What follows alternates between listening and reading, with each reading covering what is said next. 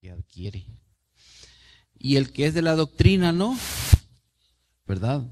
El que es de la doctrina se adentra al cuerpo de Cristo y cada vez es más controlado por el conocimiento de la doctrina.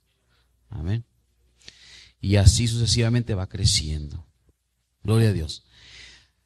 Pues vamos a hablar del velo, gloria a Dios. A ver, el hermano, así él está al tanto con el equipo allá atrás. Es el, el tema que me tocó a mí. Oren por mí para que pueda desarrollar aquí, hermanos. Amén. Gloria a Dios. El velo. Pues el velo, hermanos, si todos sabemos que es una prenda, ¿verdad? Que se pone en el cuerpo exterior la mujer, porque podíamos hablar de hábitos, ¿verdad? De vestimenta, eso sería lo general del cuerpo, pero cuando hablamos de velo es una prenda, ¿verdad? Algo que se adhiere a lo que ya trae uno. Así como aún el mundo, ¿verdad? tiene una capa que se llama el ozono, es un velo, ¿verdad? Eh, y así sucesivamente como que el Señor no quiso dejar fuera un aspecto que es tan importante, hermanos, aún en nosotros cuando se trata, ¿verdad? En el culto que le brindamos al Señor. Y el Señor pone las cosas en orden para que nosotros podamos nosotros tener, ¿verdad? Esas formas de doctrina, ¿verdad? En un aspecto visual, ya que el cristianismo tiene ideales superiores, ¿verdad? a lo que es el secularismo. Eh, por eso le llamamos culto a un servicio que le estamos brindando al Señor, porque está en un lugar eminente, en un lugar excelente. Cuando se le dice a una persona que es culta, es una persona que ya pasó niveles bajos de educación, de formalidades, llega a ser una persona culta, digna de postularse a grandes eh, cargos de mucha responsabilidad. Y en ese nivel estamos nosotros, la iglesia. Estamos brindando culto al Señor, indicando una reverencia máxima, ese temor, ese temblor que debe de ver en cada cristiano ante la presencia del Señor. Gloria a Dios. ¿Por qué hablar otra vez del velo? porque está en la doctrina. Vamos a abrir nuestras Biblias ahí en Primera de Corintios, hermanos. Y vamos a leer del 4 al 9 y para ir adentrándonos así como vayamos leyendo, ¿verdad? Primera de Corintios, capítulo 11, y lo vamos a leer del 4 al 9. Dice así, todo varón que ora o profetiza, cubierta la cabeza, venta su cabeza. Mas toda mujer que ora o profetiza, no cubierta su cabeza, afrenta su cabeza, porque lo mismo es que si se rayase. Porque si la mujer no se cubre, trasquílese también. Y si es deshonesto a la mujer trasquilarse o raerse, pues cubras.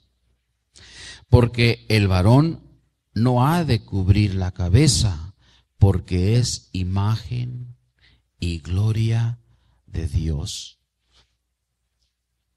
Después vamos a venir a, a visitar este texto.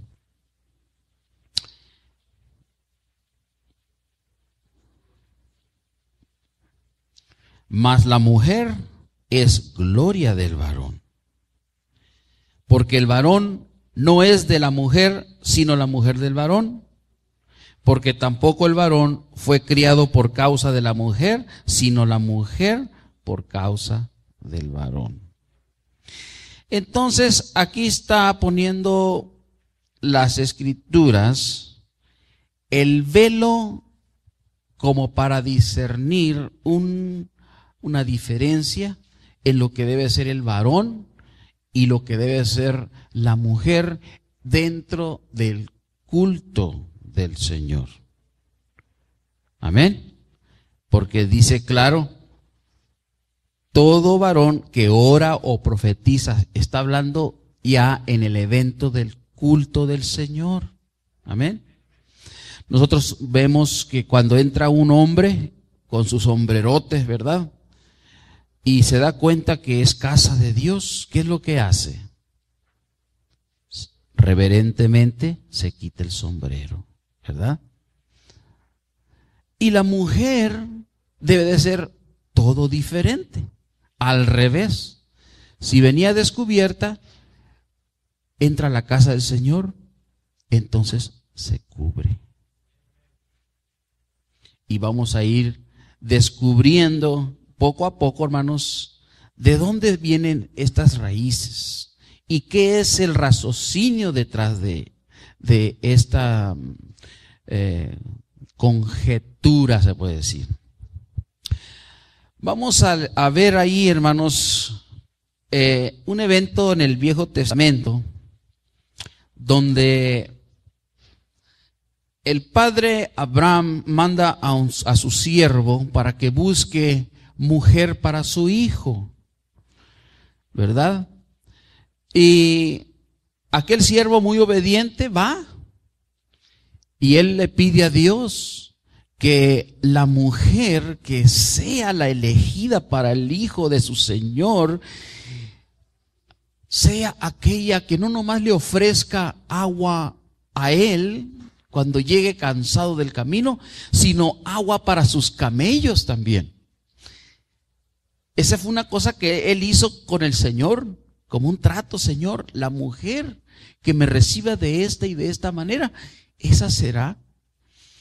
Y tal como él lo pensó, que así fuese, así el Señor le otorgó. Entonces llegó y así sucedió, conociendo a aquella mujer, pues ya le preguntó de qué familia era, ¿verdad? Y sí, resultó ser aquella que venía eh, siendo familiar eh, de las familias buenas, ¿verdad? De Abraham. Porque en aquel tiempo, ¿verdad? Estaba en la alborada de la genealogía, se puede decir las sangres estaban fuertes, ¿verdad? Se podían casar con primos. La sangre no estaba cansada como es, está cansada hoy, ¿verdad? Es muy peligroso que se casen primos porque ya los hijos salen deformes, ¿verdad? Por eso el Señor llegó un momento que el Señor puso, estableció una regla, una ley, quiénes se pueden casar con quién y quiénes no, ¿verdad? Entonces sucedió que Abraham, el intento de Abraham era que su hijo se casara con una del pueblo y no una extranjera que traería idolatría a la familia. Él quería conservar esa pureza, ¿verdad? Esa, conservar eh, esa línea de amar al solo Dios verdadero.